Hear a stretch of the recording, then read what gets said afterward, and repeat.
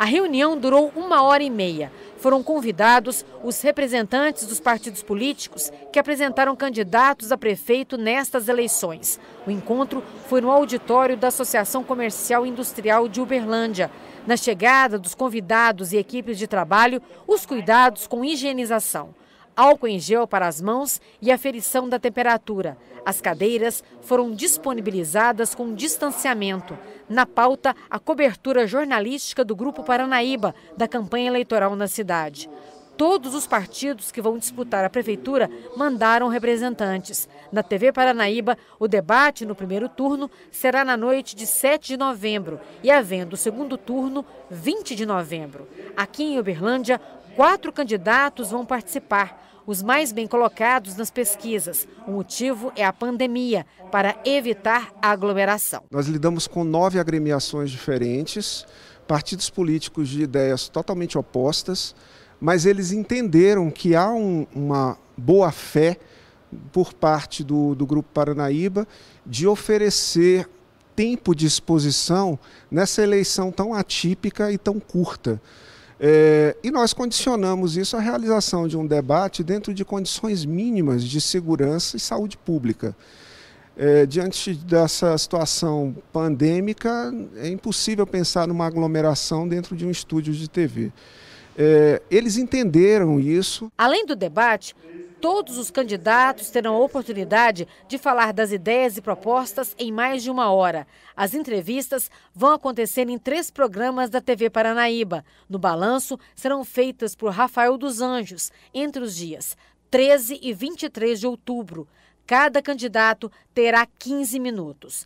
No Jornal Paranaíba, Alexandre Leal vai estar à frente das entrevistas, que começam em 27 de outubro e terminam em 6 de novembro. Mais 10 minutos para cada candidato.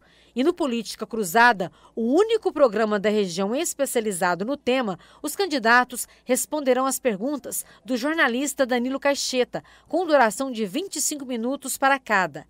A Rádio Educadora FM também fará entrevistas com os candidatos entre os dias 3 e 13 de novembro. Aproveito a oportunidade para parabenizar a TV Paranaíba e toda a sua equipe pela grande contribuição que estão dando ao processo democrático e às eleições de 2020. Eu achei de conjunto uma proposta muito legal, bastante democrática inclusive porque dá tempo para todos os candidatos a prefeito igual. Eu acho que vão contribuir enormemente para o esclarecimento dos eleitores, é, as várias atividades que vão ser realizadas. Em contrapartida a um debate com apenas os quatro primeiros colocados, haverá uma série de outras atividades com a participação de todos. Na Rádio Educadora também haverá um debate entre os candidatos a prefeito.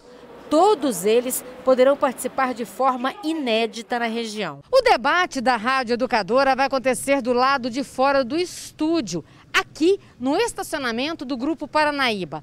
Cada candidato vai participar de dentro do próprio veículo. Serão duas horas de debate. Na reunião, foram sorteadas as vagas no estacionamento que cada candidato vai ocupar. Os candidatos devem ficar no banco do passageiro, ao lado do motorista, e poderão ser acompanhados por assessores. O debate será no dia 31 de outubro, uma manhã de sábado toda a logística já foi preparada, seguindo os cuidados sanitários. Tanto dos candidatos, dos assessores deles, quanto também dos profissionais da Rádio Educadora, da TV Paranaíba, que vão participar desse processo. A gente tem sim uma preocupação com o processo democrático, com as eleições, que é uma decisão, uma escolha de muita responsabilidade de todo cidadão, mas também não podemos descuidar da saúde, que é uma grande preocupação no mundo hoje. Todo o projeto foi elaborado com base na legislação eleitoral respeitando a vontade da ampla maioria dos partidos de forma transparente e democrática. Nós daremos o apoio jurídico para que seja feito de forma clara, de forma legal, respeitando é, as normas né, da nossa Constituição, o Código Eleitoral, as leis das eleições, para garantir transparência e que seja respeitado o nosso regime democrático. Mais uma vez, o Grupo Paranaíba mantém a tradição na cobertura das eleições, dando ao eleitor a oportunidade de fazer a escolha com consciência e responsabilidade. A gente se sente no dever de colaborar com a, a exposição dessas, dessas falas, desses candidatos, das ideias, das propostas, e que isso chegue até a ponta que é o eleitor. Então, como veículo de comunicação, esse é o nosso dever, a gente se propõe a isso.